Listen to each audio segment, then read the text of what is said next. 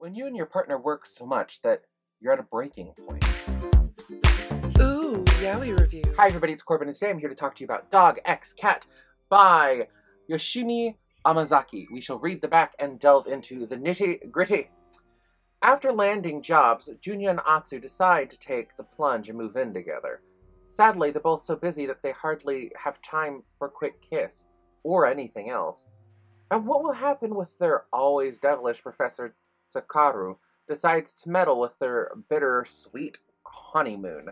Dog Cat takes two feisty and cuddly men and forces them to wrestle with burning passion. Can a romance that blossomed out of childhood friendship stand the test of time, or will the demands of adult life destroy their bonds? This is 18 plus. It's published by 801 Media. Now, let's get into it. First off, with the art style, it starts with a color print, which I'm not exactly going to show you because I don't want the video flagged.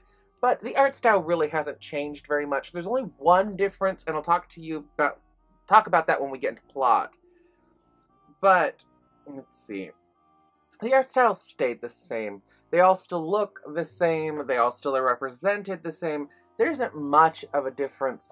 So that I have to say is a plus for this.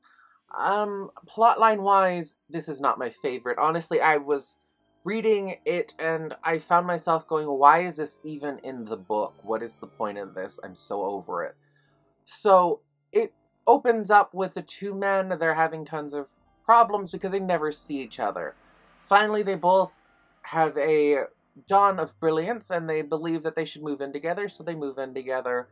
And on their first night of being home and being able to spend much needed cuddle time together, um, Atsu, which is the one in the lab coat, has a horrific nightmare, well, memory while sleeping, about how Junya fell in love with a girl and he hadn't felt like he could confess his love to him, and how alone and how awful he felt.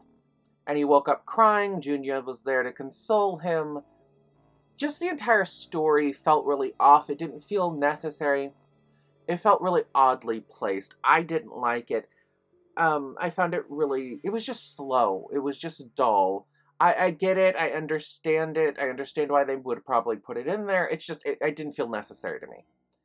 Now, the next story, we follow Junya more than Atsu. Junya is running around trying to manage a party for a big client, which is the professor. The professor is actually a secret author of murder romance novels.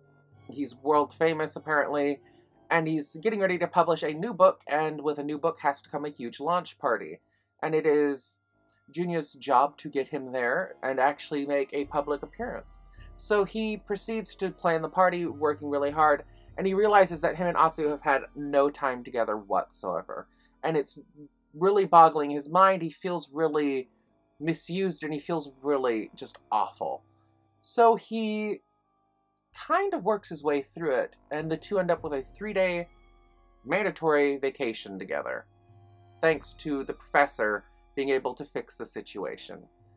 That one was far better in the two stories. I found that one much better. It was better paced, it flowed better, and it kept my interest more than the first one.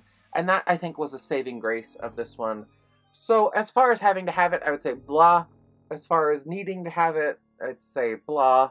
That's a personal choice. I bought it because it was part of the series. I'm a completionist when I buy a series, so that always damns me to spend a lot of money that I don't necessarily want to spend on a series that has hit a wall. But I'm not sure if it has yet. There's one more volume in the series. Now, uh, the part that I was that kind of involves art and plotline. So these are supposed to be the uncensored editions. They're supposed to be very much so more adult rated, more adult themed.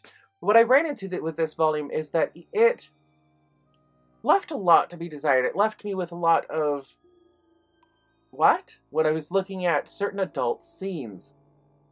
Now, in the last few volumes, they really haven't had any fluff, any politeness about them. And I don't know, maybe this volume was super duper censored when it first came out, but this one feels like how June's censoring the manga now.